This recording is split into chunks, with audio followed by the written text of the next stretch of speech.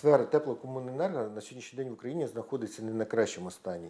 Дійсно її потрібно рятувати і приймати рішення на рівні уряду. Досить показово тут виглядає, е, як управляються ТЕЦи, які знаходяться в управлінні фонду держмайна. У 2018 році уряд е, своєю постановою 867 е, в жовтні вирішив, що можна надати саме ТЕЦам, які знаходяться в управлінні фонду держмайна, ступінь розрахунки за газ е, 60%.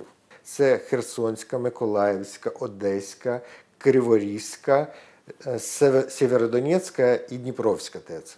І за два роки ці е, ТЕЦ наростили борги на цифру, вдумайтесь тільки, 5,7 мільярдів гривень боргу перед групою Нафтогаз. Про що це свідчить? Це необґрунтоване рішення Кабінету міністрів, як на мене. А друге, це неефективне управління. Є інший приклад: це Новояворівська і Новороздільська ТЕЦ.